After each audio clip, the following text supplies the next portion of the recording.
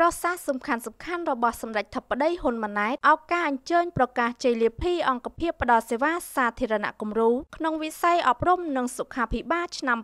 2023និងប្រកាសដាក់ឲ្យអនុវត្តសម្រាប់ឆ្នាំ2024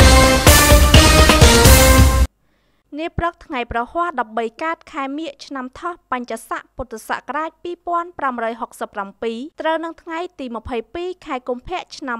2024នេះសម្ដេចមហាបវរធិបតីហ៊ុនម៉ាណែតនាយករដ្ឋមន្ត្រីនៃកម្ពុជា បានអញ្ជើញជាអធិបតីប្រកាសជ័យលាភីអង្គភាពផ្ដល់សេវាសាធារណគំរូក្នុងវិស័យអប់រំនិងសុខាភិបាលឆ្នាំ2023និងប្រកាសដាក់ឲ្យអនុវត្តសម្រាប់ឆ្នាំ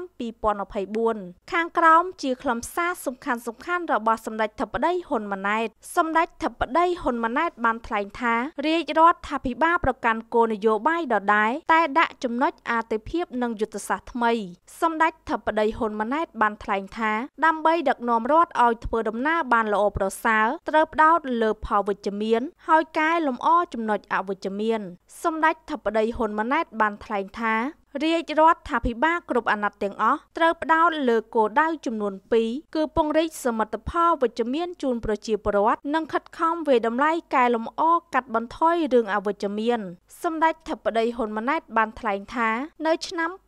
2023រាជរដ្ឋាភិបាលបានសម្រេចដាក់ឲ្យអនុវត្តការប្រកួតប្រជែងការផ្ដល់សេវាសាធារណគំរូនៅតាមសាលារៀនក្នុងកម្រិតអនុវិទ្យាល័យនិងសាលាបឋមសិក្សា និងមណ្ឌលសុខភាពហើយថ្ងៃថ្ងៃនេះគឺជាថ្ងៃដែលប្រកាសជ័យលាភី អង្គភាពផ្ដល់សេវាសាធារណគំរូសម្រាប់អនុវិទ្យាល័យសាលាបឋមសិក្សា និងមណ្ឌលសុខភាពសម្ដេចធិបតីហ៊ុនម៉ាណែតបានថ្លែងថា ការដំឡើងឋានៈឯកឧត្តមហ៊ុនម៉ាណីជាឧបនាយករដ្ឋមន្ត្រី ដើម្បីសម្រួលដល់ឋានានុក្រមការងារសម្ដេចធិបតីហ៊ុនម៉ាណែតចង់ផ្ដល់ឱកាសដល់មន្ត្រីជំនាញចូលរួមជួយរាជរដ្ឋាភិបាល ក្រោមក្របខ័ណ្ឌមន្ត្រីជាប់កិច្ចសន្យាសម្ដេចធិបតីហ៊ុនហ៊ុនម៉ាណែតបានថ្លែងថាប្រទេសជាច្រើនកាត់បន្ថយការជ្រើសរើសមន្ត្រីរាជការតែរើសមន្ត្រីកិច្ចសន្យាសម្ដេចធិបតីហ៊ុនម៉ាណែតបានថ្លែងថាធ្វើអ្វីក៏ដោយបើគ្មានការតាមដាន គឺអត់ជោគជ័យនោះទេ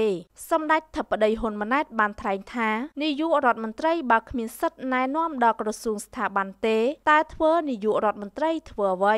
សម្ដេចធិបតីហ៊ុនម៉ាណែតបានថ្លែងថាគំនិតថ្មីមិនប្រកាសថាជោគជ័យនោះទេប៉ុន្តែបើគ្មានគំនិតថ្មីគឺមិនមានសមិទ្ធផលថ្មីថ្មីនោះទេសម្ដេចធិបតីហ៊ុនម៉ាណែតបានមើលឃើញថាសុខភាពប្រជាពលរដ្ឋបច្ចុប្បន្នមានស្ថានភាពល្អប្រសើរដោយសារវិស័យសុខាភិបាលរបស់កម្ពុជាបានល្អប្រសើរសម្ដេចធិបតីហ៊ុនម៉ាណែតបានថ្លែងថា គ្រូពេទ្យបានធ្វើការងាររបស់ទេវតាគឺការជួយសង្គ្រោះជីវិតមនុស្សសម្ដេចធិបតីហ៊ុនម៉ាណែតបានលើកទឹកចិត្តដល់គ្រូពេទ្យទាំងអស់ឲ្យបន្តប្រឹងប្រែងធ្វើការងារទេវតាជួយអាយុជីវិតមនុស្សសម្ដេចធិបតីហ៊ុនម៉ាណែតបានថ្លែងថាលើកទឹកចិត្តគ្រូបង្រៀននិងគ្រូពេទ្យថាពិន្ទុពិតប្រាកដនៅលើសិស្សបានពិន្ទុល្អអាណាព្យាបាលពេញចិត្តនិងអ្នកជំងឺពេញចិត្តសម្ដេចធិបតីហ៊ុនម៉ាណែតបានថ្លែងថាគ្មានអ្វីដែលរីករាយជាងឃើញមនុស្សយើងបង្រៀនទទួលបានជោគជ័យមនុស្សដែលយើងព្យាបាលបានជាសះស្បើយជួបជុំគ្រួសារនោះទេ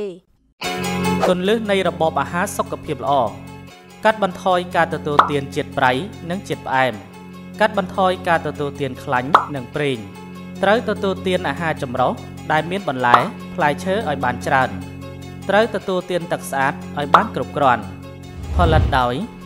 វិសុនិងទូរទស្សន៍ជាតិខេត្តត្បូងឃ្មុំ thank you